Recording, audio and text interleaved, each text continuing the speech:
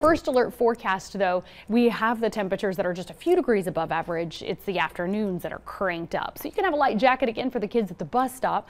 Probably don't want to fool with it, though, outside of that because that's where it does heat up quite a bit yet again as we start out clear with some patches of fog and around 59 degrees. Your sunrise 733.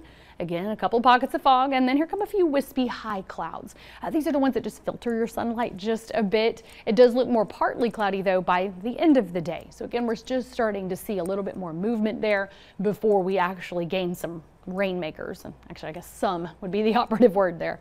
As we go through the day today, we're going from 59 to start to 77 at noon. Again, quickly warming. Got that light northerly breeze working in our favor if you hide out in the shade with mild humidity levels for your afternoon. Still warm again. 86 your high mostly sunny, but then we start to see a few more of the thicker clouds rolling in this evening.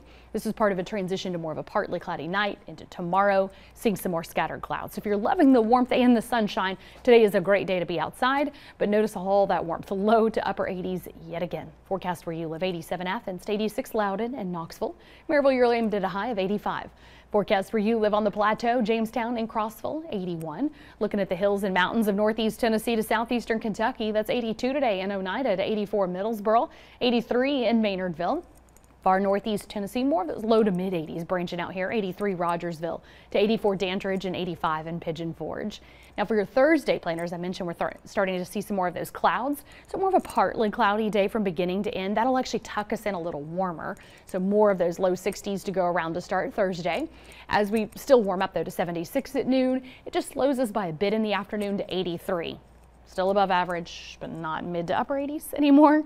The scattered clouds are rolling in again ahead of a front, but we've got to boost the humidity before we can really pull any raindrops out of these clouds, which is why most of the day is just a mix of sun and clouds. In the evening, we could get a stray shower, and then tomorrow night, Thursday night, a few showers move in. Now, most of these are light, but at least it looks like it can drop some raindrops on some of our lawns and gardens here as that rolls through while you're sleeping. Thursday night to early Friday morning, a few showers cutting through our area into Friday. We'll continue with those layers of clouds.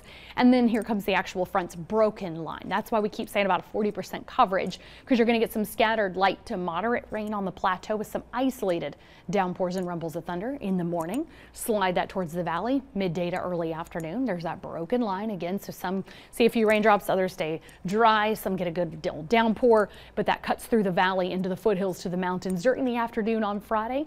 Ends up with more of an isolated shower left over by the end of the day on Friday into Friday. Friday night.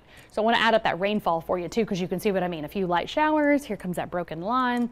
Add it all up, not that impressive. We're still in that zero to a tenth of an inch of rainfall for most of our areas. Some isolated quarter of an inch wants to pool up in spots. So we'll continue to keep an eye on that front for you. But it will blow into town with some breezy conditions. Gusts around 15 to 20 miles per hour Friday through the weekend. And it'll blow in the cooler air, taking us from 80s to 70s on Friday to 60s for highs this weekend. Even some chilly mornings in the 40s this weekend into early next week.